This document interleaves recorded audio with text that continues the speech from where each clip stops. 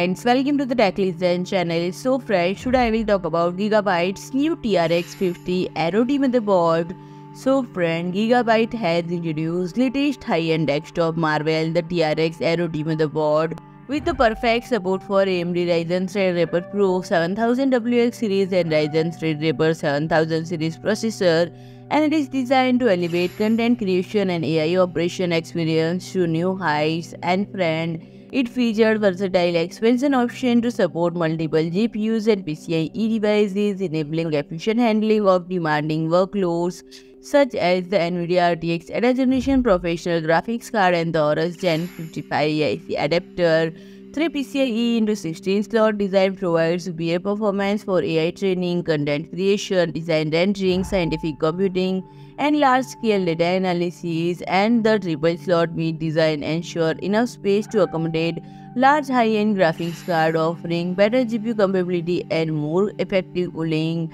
Furthermore, the innovative PCIe UD Slot X can achieve a remarkable load bearing capacity of up to 58 kg due to its one-piece design securely fastened to the dedicated backplate and powered by all-digital 28-phase design. It can unleash exceptional performance with the latest AMD Ryzen Threadripper processor, making it the most powerful HEDT platform for builders and the advanced thermal design include an inline heatsink with a heat pipe in VRM area and M.2 thermal guard providing high efficiency heat dissipation to ensure the system stays cool while running multitasking or resource hungry applications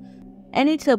supports quad-channel DDR5 RDIMM with a maximum capacity up to 1TB for premium memory performance and the TRX 50 Aero D offers cutting-edge connectivity including lightning fast data transfer with dual USB 4 Type-C ports each providing speed of up to 40 Gbps, Wi-Fi 7 with GB, ultra high gain antenna and 10 GBE to 5 GBE dual LAN connectivity